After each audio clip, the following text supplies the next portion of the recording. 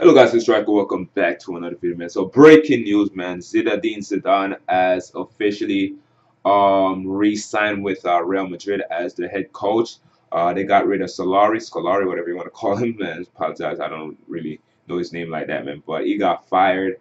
And uh, yeah, man, uh, he wasn't doing a good job. He wasn't doing a good job. I, I figured they would have fired him eventually, but I'm not sure who they was going to replace him with. But they replaced him with uh, Zidane, man. Zidane was um, the coach for the past what three four years with them, winning uh, like three Champions League in a row uh, with them, and so they, they had a fantastic run with them. Um, never really won a league with him. I'm not sure. I don't think they won a Copa del Rey with him either, man. But he was very, very good at winning like the international, um, the the Continental Cup, man, like Champions League, even the Club World Cup or the Super Cup. Uh, so yeah, man, Zlatan, uh, Zidane, sorry, Zinedine Zidane is back with Real Madrid. Um, it's for me, man. I, I, think it's a mix, um, uh, mixed feeling, mixed emotion. Um, he's pretty much. I think he's kind of tarnishing his um, his legacy, man, by retaking Real Madrid. Real Madrid is not good as how they they were a few uh, when he was coaching. At least they had Ronaldo. Ronaldo always clutch, man. He always come up big whenever they need to, especially in the Champions League. And uh, they don't have that right now. They don't have that right now. They got Vinicius Jr. and those guys and Vinicius Jr. don't really have a shooting uh, a shooting foot.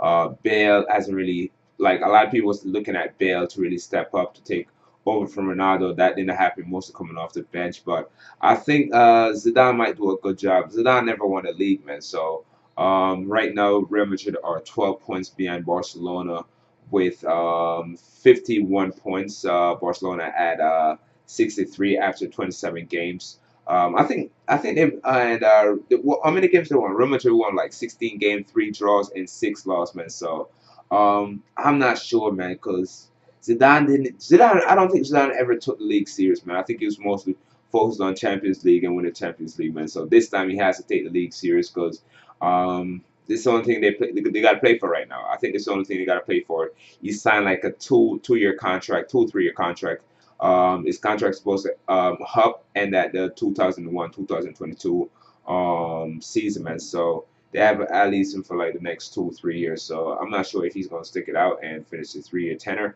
but time will tell.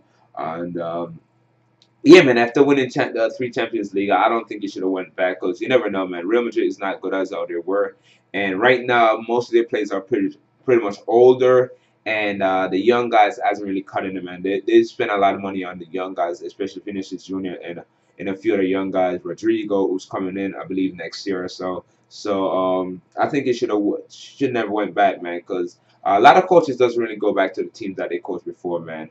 Uh, you see what happened to Mourinho. Mourinho was one of the greatest uh, Chelsea coach ever. Uh, pretty much won everything with them uh, except the Champions League and the Europa League. But um, he went back, man, won a won a uh, Premier League. But after the next season after that, man, his second year, um, second or third year, things didn't go well with him. Eventually got uh, got fired, man. So hopefully we don't see that with um, Zinedine Zidane, because Real Madrid are very impatient, man. They're not a patient club. They want result.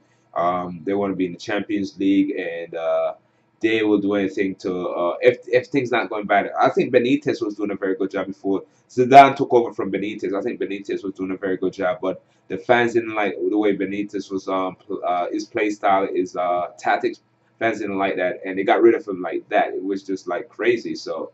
Um, I'm not sure if it's a good decision for Real Madrid. I know a lot of uh, teams out there, a lot of fans out there that wanted Zidane as their coach, like probably PSG fans probably wanted Zidane as their coach. Same with United fans or probably some other clubs out there um, wanted Zidane, man. But they're not going to get Zidane. They're not going to get Zidane. But um, time will tell see how this turned out, man. But um, good they got rid of Solari. I don't think uh, Solari is a very good coach. I think Zidane, uh, Zidane is, why I'm saying Zlatan, uh, Zidane is a way better coach than him, man. But um, I think they was trying to get Zidane before, man, like earlier in the season um, try to get him. But uh, I think he didn't really want to take the job until they get knocked out of Champions League, man. Imagine Zidane took the job and they eventually got beat by Ajax, man. That would have been crazy for him, man. So um, pretty much only thing he has to focus on the league. I think he's definitely going to help the team make top four. I think um, Bale, everybody going to step up with Zidane, man. I think he has that connection with the players, man. I think they're going to do very well. But uh, let me know you guys think about this, man. Uh, Zidane back to